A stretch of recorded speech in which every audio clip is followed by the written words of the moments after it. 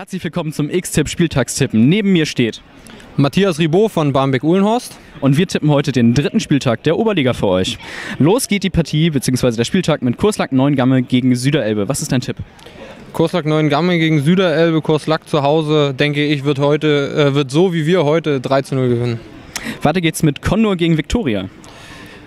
Da drücke ich meinen Kollegen von Viktoria die Daumen, auch wenn ein guter Kumpel von mir, Rafi Kamalov, bei Condor spielt. Äh, aber ich denke, da wird äh, Viktoria 2 zu 1 bei Condor gewinnen. Weiter geht's mit Buxtehude gegen Rugenbergen. Das ist ein klassisches 1 zu 1 Spiel, vielleicht sogar 0 zu 0.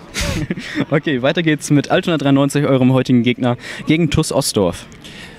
Ja, man, man spricht immer so schön von so einer Reaktion. Vielleicht zeigt Altona die da. Also ich denke, dass Altona stärker einzuschätzen ist und wird zu Hause auf der AJK 2 zu 0 gewinnen. Hast du irgendjemanden im Kopf, der da ein Tor schießen könnte? Ich hoffe mal auf meinen Kumpel Dennis Thiessen. Weiter geht der Spieltag mit VfL Pinneberg gegen Kosovo. Da wird Pinneberg zu Hause 1 zu 0 gewinnen. Weiter geht's mit Buchholz gegen Dassendorf. 0 zu 2. Dann geht der Spieltag weiter mit Wedel gegen BU.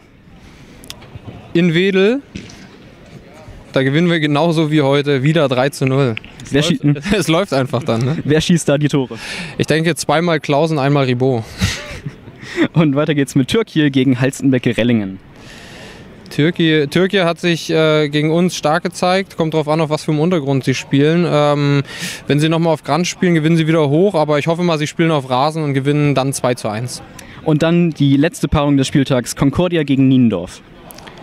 Da wird Niendorf überraschend 2 zu 1 gewinnen. Das war der X-Tipp Spieltagstipp.